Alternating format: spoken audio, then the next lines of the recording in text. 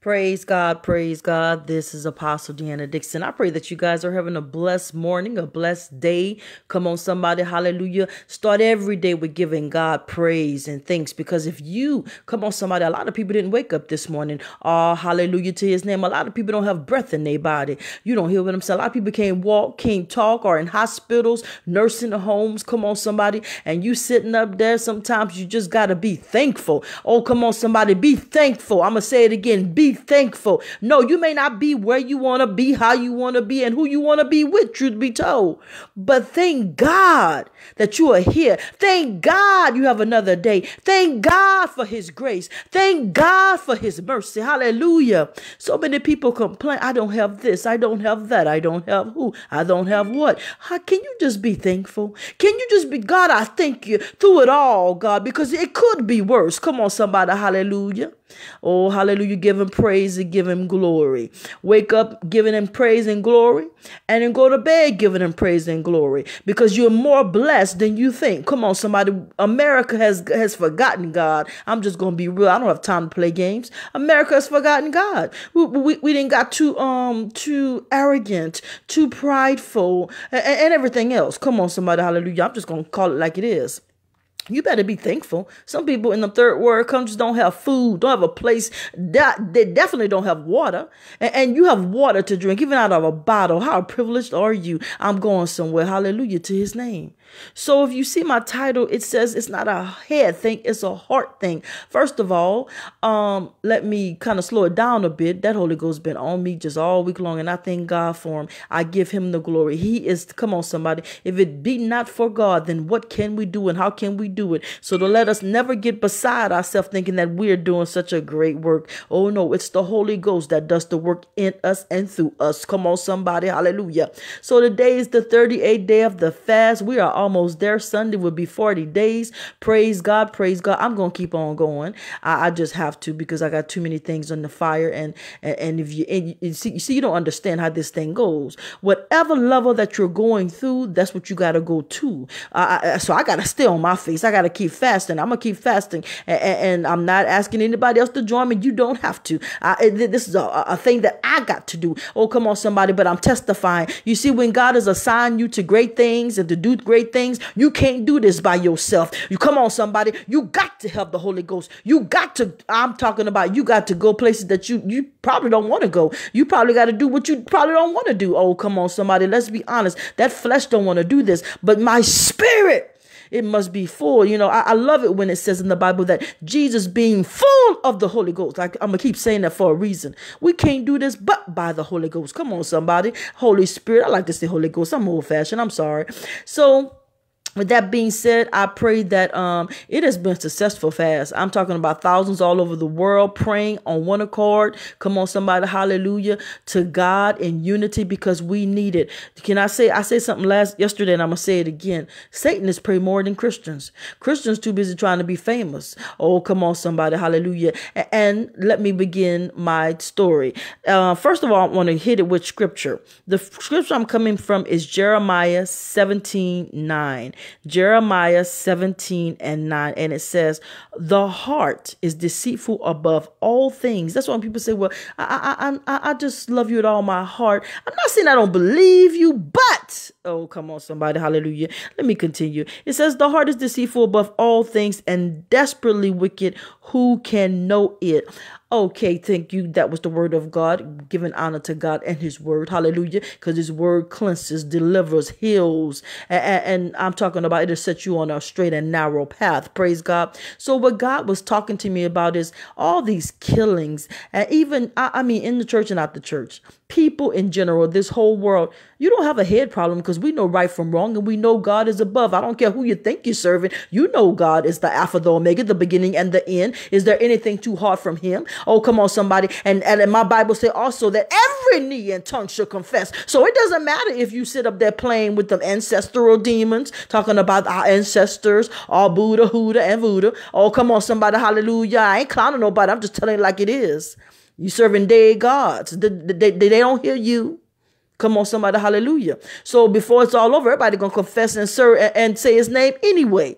All right, hallelujah. So God was, He had it on my heart and my soul. He said, Deanna, people are so angry these days, and it's so true. Because I'm gonna talk, tell you about a story. I was walking in Walmart, and there's always something going on in Walmart. And, and, and let's talk about that. Why you why you think? Because when you sacrifice people, when you do bad things, you see, let me tell you something. Y'all don't know how these people got their money, huh? Let me tell you something. Who is the God of this world? I'm always go with principles, biblical principles. The Bible says that Satan is the God of this world. So anybody that saves certain, y'all have it going on. Oh, come on, somebody. So people think. That's why highly weird. Oh, come on, somebody. I said highly weird.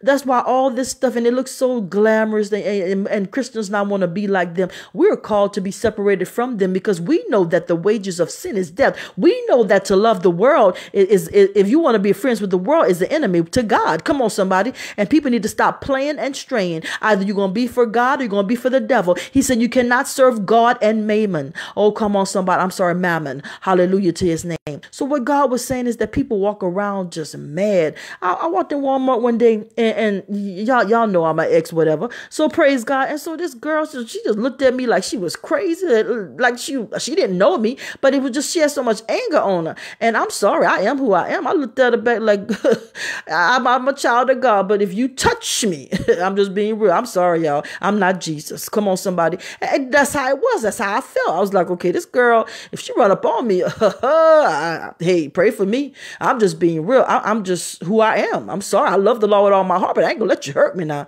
Hallelujah. And I say this to say why y'all so angry? Why are people so angry? Because they don't have God. Even in their heart. Yo, come on, somebody. I'm going to preach this thing the way God says. People are angry. Even Christians walking around, cussing each other, talking about each other, hating on each other. You, you, you'll scroll through somebody's page. Well, I'm going somewhere, but you won't like nothing because uh, uh, uh, uh just because you don't like nobody don't mean that God can't use them. Just because you don't like nobody don't mean that God asked you for your opinion. It does not matter. Come on, somebody. Hallelujah. Hallelujah. All this hate. That's what I'm talking about this morning. God said it's a heart matter. You see, when you, your heart ain't right, your head can't win. Oh, come on, somebody. How can you win when you ain't right within? I'm going to say that again. Somebody write that in the comments. How can you win when you're not right within?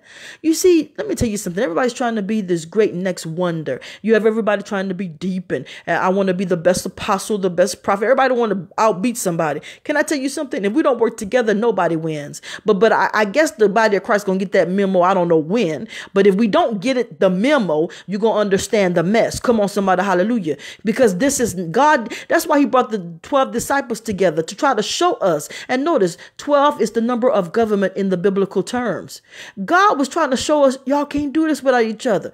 But yet you got everybody against each other. You got every, and I'm talking about even in the world. So if the church is against each other, what do you think is in the world? Let me tell you something. From the beginning of time, the church really ran the world as far as the standards, the biblical commandments. Now they've gotten away from that. Why do you think the world is topsy turvy? Come on, somebody, hallelujah. Because the church is not right. Come on, somebody. And that's why church judgment is in the house of God right now. But it's not a head problem, it's a heart problem. You got to ask God, take that stuff out your heart. The jealousy, the hate. Here it goes, the rage. That's what's killing people. You mean to tell me you so mad at your brother and sister? I'm talking about to everybody now, not just the church, that you want to take a gun and kill them when God commandment said, do not kill? So do you not understand now you got a mark on your head so somebody could blah blah you? You, you, y'all don't understand how this going on. Y'all wonder why these young people out here dying? Because well, look what they doing. Nobody don't want to touch that. You could put some little wings on their little thing and say, "Oh, they going they ain't going to heaven like that." Stop that. I I know y'all ain't gonna like me. I'm sorry. You sin, you know what time it is. Stop playing and stop lying to people. It's time for to tell people the truth. Confess to Jesus Christ of Nazareth.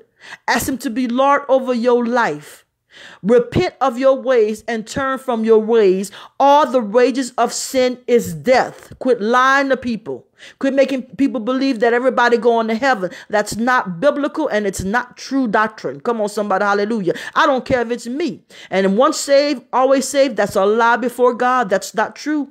Every day we got to ask God, keep us, keep us, God, keep us. Because I'm going to be honest with you, and I'm about to say something that's very powerful but true. If you are not surrendered to the Holy Ghost, you are capable of anything. I'm going to say that again. If you are not surrendered fully to the Holy Ghost, You are capable of anything, and I don't trust you. And you shouldn't trust them either. Because anybody that's not being ruled by God is being ruled by Satan.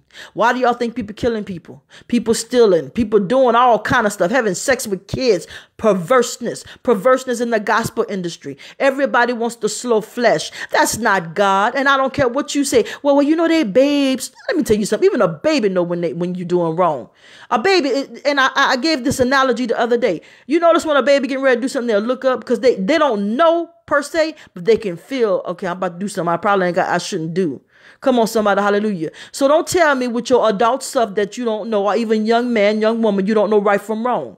So so stop giving people passes. No, it's time for the people. that you are in error. Stop that. God says you are in error because Isaiah says the blood will be on your hands if you don't warn the people. He said, but if you warn them and they turn from their wicked ways, you have won a brother and a sister. Come on, somebody, hallelujah, through to the kingdom of God. So that's why people, and, and then the world got people so oppressed, suppressed, depressed. That's because you're trying to do something without God. You're trying to be, you're trying to win without God. You're trying to eat without God. You're trying to be big without God. You can't do nothing except God do it. Because the enemy, let me tell you how he wrote. He, he a shark. Okay. You don't know what a shark is? That's back in the day. Let me tell you what a shark is. Look, I'm going to give you this, but I need that. Y'all ain't ready for me. And I need it with interest, by the way. I, I, I'm going to give it to you but but I want your soul. I'm, I'm it to you, but you're gonna have to give me some more in return. So I don't even play with the devil because anything that he offers you is it, you know how they say you'll pay more than you want to pay and you'll stay longer than you want to stay? Play with the devil and that's what you're going to get and that's what people are doing. So then you're trying to keep up with everybody else that you think is winning. Oh i'm going here this morning. Let me tell you something i was the same way. I was a little girl from louisiana and, and i'm gonna be honest with you didn't know that i was a prophet although my my my grandmother had said it. If you, uh, I probably, like I said, tell my whole life story before it's over with, right? I was a little girl, and my grandmother took me to this woman house. I don't remember the woman name. And when I walked in, everybody, I said, Grandma, this woman is gonna die. And two days later, the woman died. And so, grandmother, she, you know, I was a young girl. I didn't understand, but I do remember what she said. She said, You're a prophet. I didn't know what a prophet was. So I just went back outside and played. And I'm saying to say this I always knew things and I didn't understand why. I just thought I was smart. Yeah, catch that one. But I know this. I've seen it my whole life. If you say something, it'll come to pass. Death and life are in the power of the tongue, and those that eat the fruit, uh, there's the, those that love it should eat the fruit thereof. Excuse me. You got to understand what you speak, you should have. So now you got the enemy the same way he did Jesus. He said, If you fall down and worship me, I'll give you the glory of the kingdoms. So now everybody wants to be a star. Everybody wants to be this. And as I was saying when I was a little girl, I remember I said, One day I'm going to go to Hollywood. Well, if anybody knows my history, I did. I, I went to, I, by myself, I went to California when I was what 20 something um god has said you're going but i thought it was going to be to be a star because you know I, I, do sing i have all these gifts shoes that didn't even happen like that as a matter of fact every time i got close something happened and i said god you don't want me to be famous or something and i didn't understand that thing until i got in that thing when i start when i got in hollywood and i saw and I'm just going to be very blunt. I don't care who believe me or not. I ain't got time to try to convince nobody. When I saw that they were selling their soul, now we talked about the other day we was doing things. Okay, and I'm just gonna say it. I ain't got time to sugarcoat nothing. They called the brother